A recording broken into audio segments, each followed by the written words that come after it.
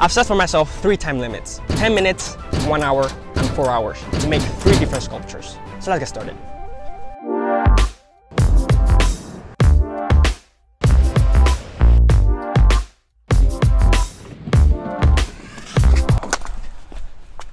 Hey guys, welcome back to another video. Sand is probably one of the most difficult things to sculpt with, so let's see how long my sanity lasts.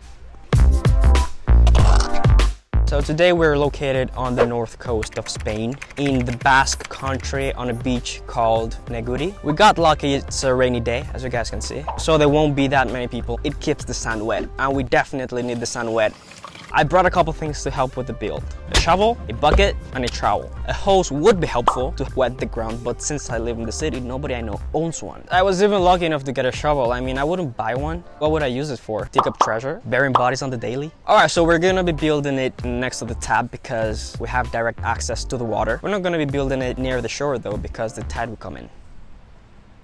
Alright, so this is actually my first time ever sculpting. I'm not exactly sure how this is gonna turn out. Might be a huge fail who knows? So first things first, we're gonna fill the entire bucket with water. We're gonna take this all the way to that side. Oh my gosh, it's going everywhere. I'm gonna do the 10 minutes here, the one hour there, and then the four hour one near the top, because the four hour one will probably take the most water. All right, timer for 10 minutes, so let's go.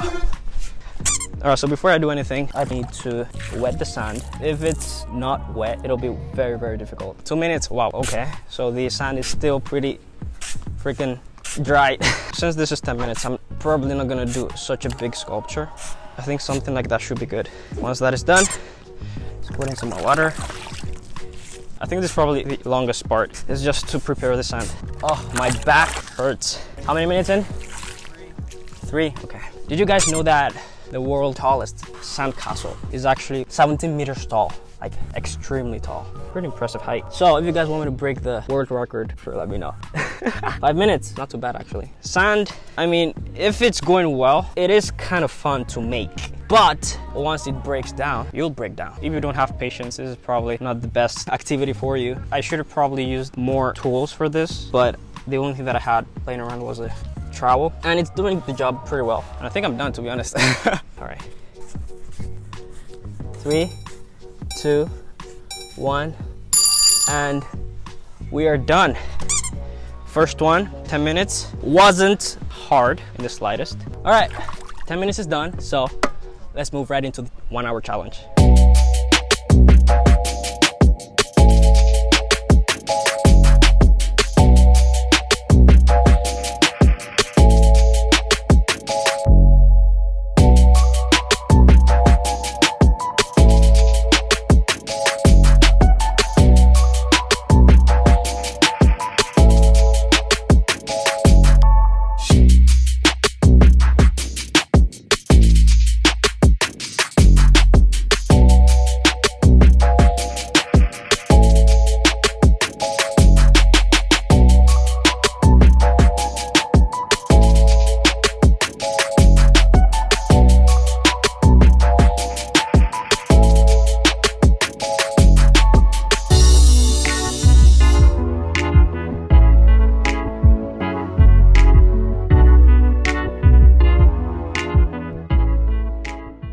We're roughly about 55 minutes in. As you can see here, I didn't really go really in depth with the detail because I probably don't have enough time to do it. I mean, it's just one hour. Probably spend more time adding more details to the uh, four hour one. What I'm doing right now is just quickly trying to shape it a little bit because it's a little rough on the edges. Make it a little bit more presentable. All right, 10 seconds left. And uh, we are done.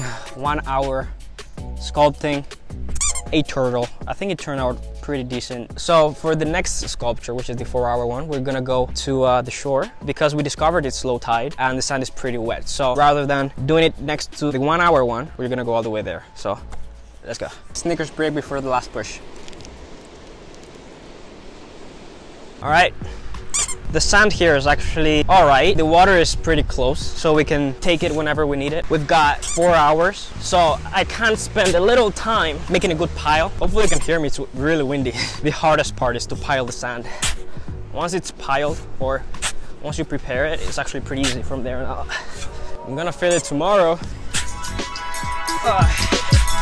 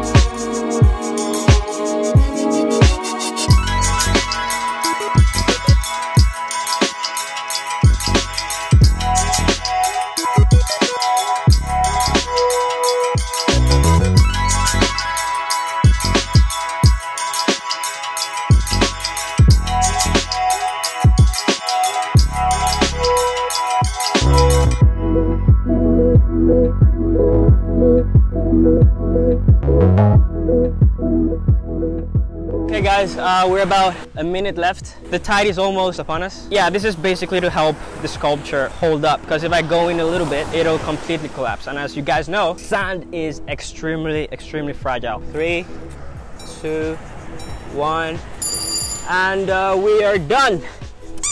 All right, whip, almost before the tide comes in. Hopefully you guys enjoyed. Oh my gosh. Alright guys, thanks so much for watching. I had a lot of fun. Unfortunately, all good things have to come to an end. The tide is coming in quick, so enjoy the tide swallow the sculpture. Whoa!